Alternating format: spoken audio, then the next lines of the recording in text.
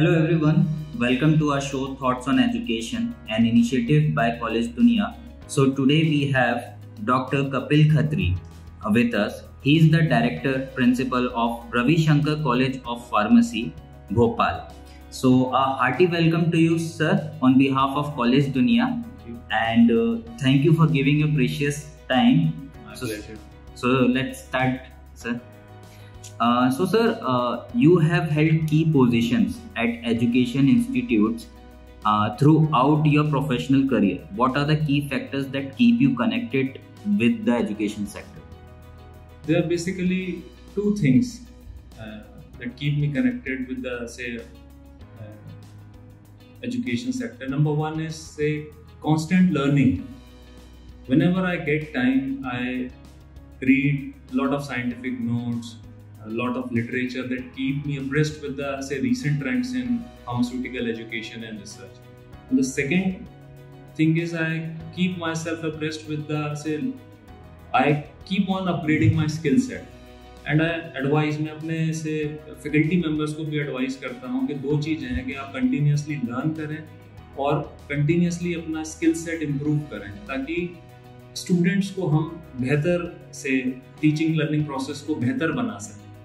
जैसे कि faculty development programs होते हैं तो मैं अपने टीचर्स को एडवाइस uh, करता हूँ कि they should participate in the faculty development programs जहाँ पर टीचिंग लर्निंग से रिलेटेड uh, जानकारी मिलती है या वो अपना स्किल सेट अपग्रेड कर सकते हैं या कुछ ऐसे सेमिनार्स वर्कशॉप को अटेंड कर सके जहाँ वो प्रैक्टिकली चीज़ों को डिमॉन्स्ट्रेट कर पाएँ ताकि एक बेहतर जो प्रोसेस है ये टीचिंग लर्निंग इंटरेक्शन है वो हो सके। Right, sir. So, uh, being the director, principal uh, of this college, what is your philosophy of leadership? How would you describe your leadership style? So, see, I believe in say participative kind of leadership. Uh, I believe in teamwork. कभी कभी ये जरूरी होता है कि हम एक uh, से अथॉरिटेटिव लीडरशिप भी लेना पड़ता है, जहाँ पर डिसिप्लिन की बात होती है, वहाँ पर कुछ ऐसे डिसीजंस लेने पड़ते हैं, जहाँ पर अथॉरिटी रिफ्लेक्ट होती है बट जहाँ पे जैसे एक सेशन पास हुआ, बच्चा या एक सत्र निकला, दूसरे सत्र को स्टार्ट करने से पहले I involve my say H faculty members और उस उस सत्र में जो गैप्स हैं बेसिकली या रहे हैं टीचिंग लर्निंग प्रोसेस को लेकर हम उस पर डिस्कशन करते हैं कि कैसे हम नेक्स्ट सेशन को नेक्स्ट एकेडमिक सेशन को उससे बेहतर बना सकते उसमें कुछ रेजोल्यूशंस मैं प्रोवाइड करता हूँ। अगर उसमें अमेंडमेंट की ज़रूरत होती है और स्टाफ बोलता है, नहीं, इस तरह से और बेहतर हो सकता है तो मैं हमेशा ओपन रहता हूँ वो सजेशंस को इनकॉर्पोरेट करने के लिए। क्योंकि अल्टीमेट ऑब्जेक्टिव किसी भी एजुकेशनल इंस्टीट्यूट का ये है कि हमारी अप्रोच स्टूडेंट सेंट्रिक होनी चाहिए। जो हम एक से जो पास्ट सत्र निकला है और जो अगला सत्र चालू हो रहा है उसमें अगर कुछ गैप्स हैं जो फुलफिल किए जा सकते हैं कुछ रिसोर्स जनरेट करके या कुछ फैकल्टी के कमिटमेंट को और इन्वॉल्व करके तो हम उस तरह से डिसीज़न लेते हैं so I basically believe in participative kind of that's nice, sir. So, uh,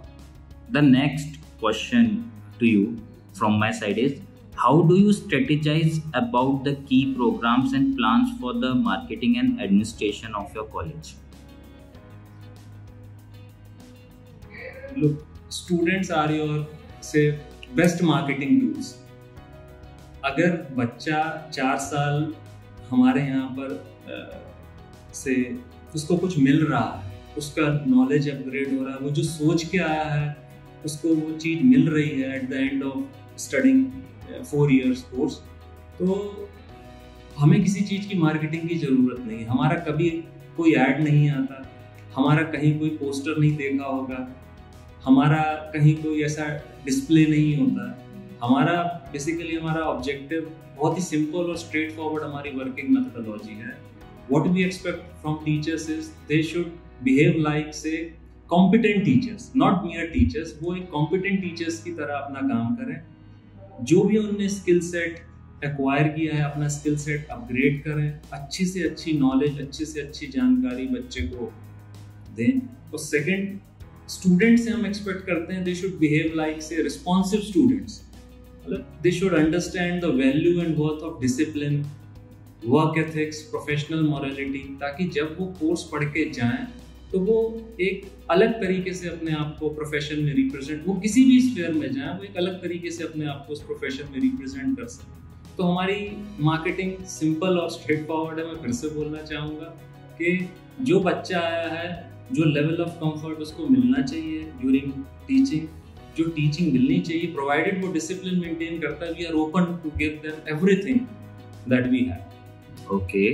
so uh, what do you think your roles and responsibilities to the college and the students are major uh, responsibility is to say give them outcome based teaching जो हमारा basically organizational structure है वो मैं उसको चार part में अगर divide करूँ जो एक संस्था को उत्कृष्ट संस्थान बनाने में से सहयोग करता है तो कॉम्पिटेंट स्टाफ मेंबर्स आ गए। देन उसमें आ गया आपका supportive management and staff administrative staff then quality infrastructure and responsive students अगर ये चार आर्म्स हैं, अगर एक संस्था को जो नेक्स्ट लेवल पर ले जाने की क्षमता रखते हैं, अगर ये चारों आर्म्स अपना प्रॉपर इनपुट देंगे तो we can surely say become one of the say eminent institutes in the coming time right so what do you think should be the college top priority over the next 10 years college top priority over the next 10 years would be like say to build quality infrastructure जो जो basically gaps हैं जैसे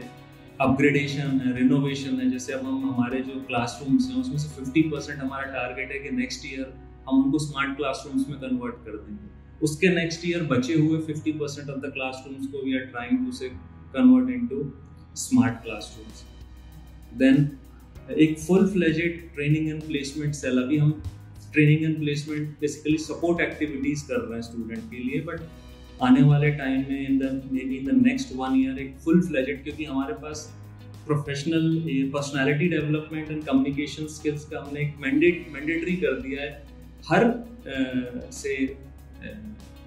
semester में it is mandatory for the students to attend the personality development and communication skill classes